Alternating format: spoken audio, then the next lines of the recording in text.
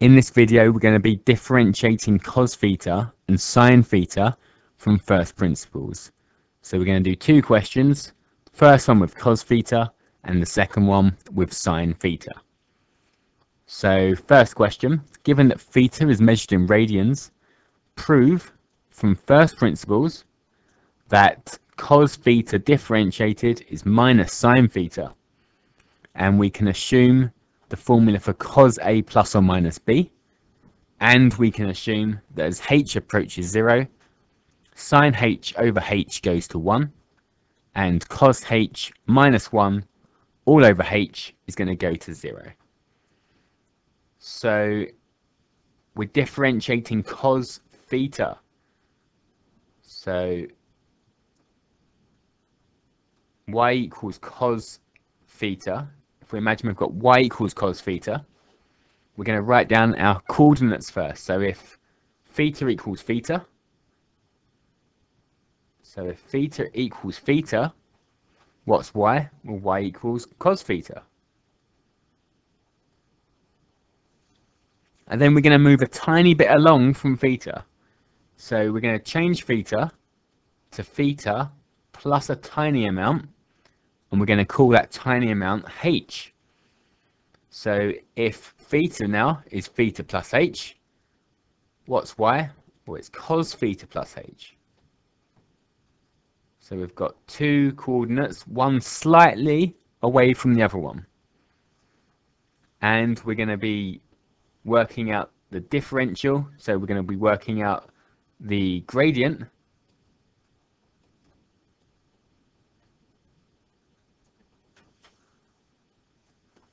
using y2 minus y1 over x2 minus x1. So we're going to say that d cos theta d theta is y2 minus y1 cos theta plus h minus cos theta over x2 minus x1 theta plus h minus theta. So we can simplify the bottom line. Theta plus h minus theta is just h. So we'll change that to cos theta plus h minus cos theta over h. Now we're going to use the cos a plus b. So cos a plus b I'll write a note on the side. So cos A plus B is cos A cos B minus sine A sine B.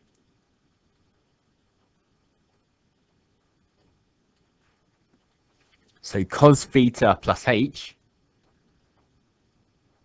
is cos theta cos h minus sine theta sine h and we've still got the minus cos theta and it's still all over h.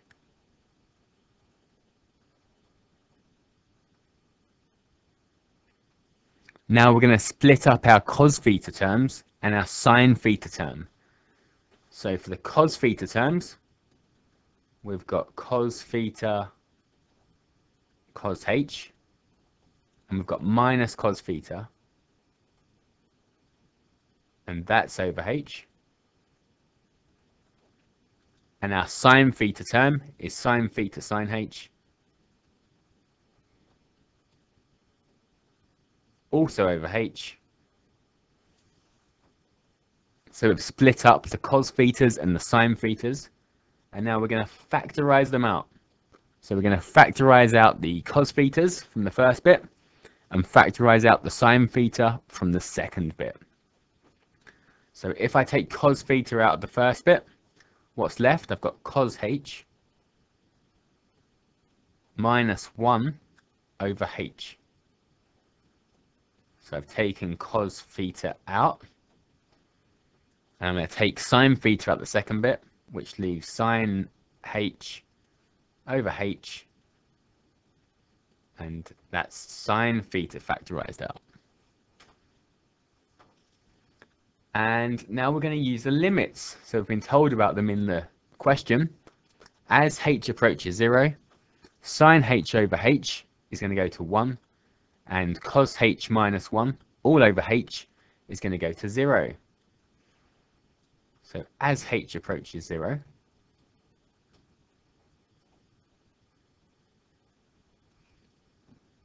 uh, d cos theta d theta is going to be.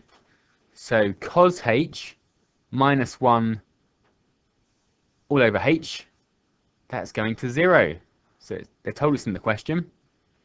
That's going to 0 so we've got 0 cos h cos thetas sine h over h is going to go to 1 so we've got 1 or minus 1 sine theta. So we've got no cos thetas, which is 0, minus 1 sine theta, which is just minus sine theta.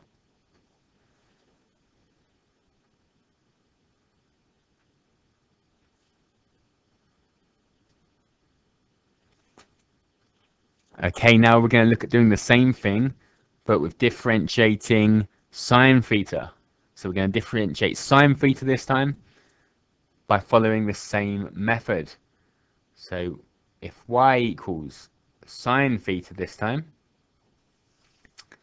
and theta equals theta, so when theta equals theta, what's y? y is sine theta. And then if we add a small amount to theta, so we'd have theta plus h.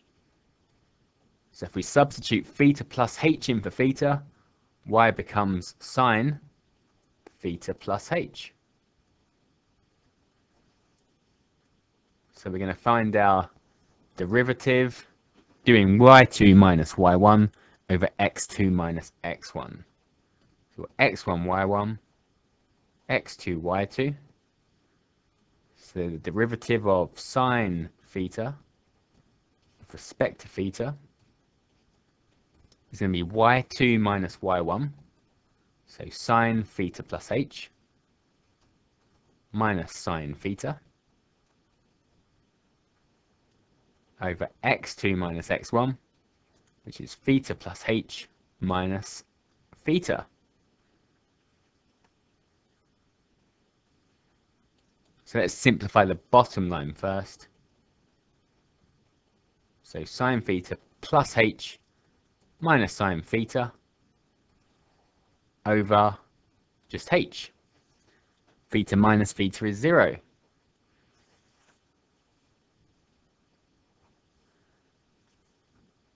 And now we're going to use our sine a plus b formula.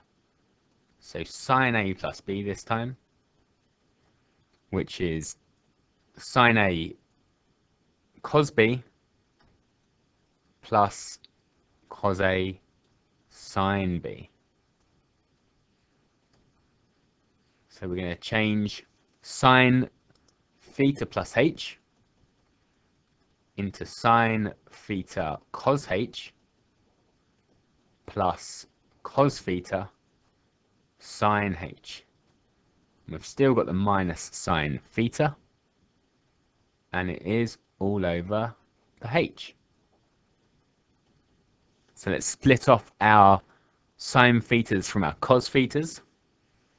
So if we get the sine theta terms together, we've got sine theta cos h minus sine theta over h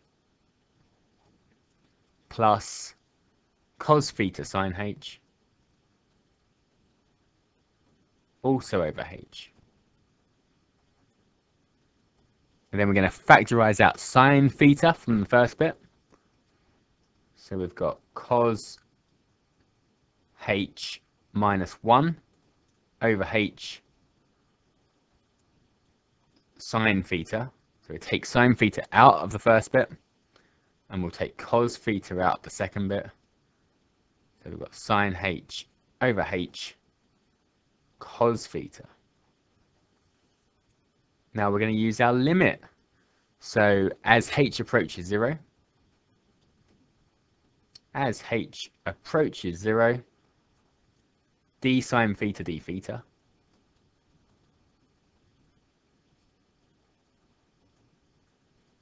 equals, so cos h minus 1 over h is going to go to 0.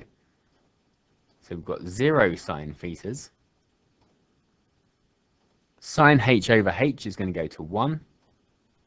So we've got 1 cos theta. So we've got 0 sine thetas plus 1 cos theta. 0 times sine theta is 0. 1 times cos theta is cos theta.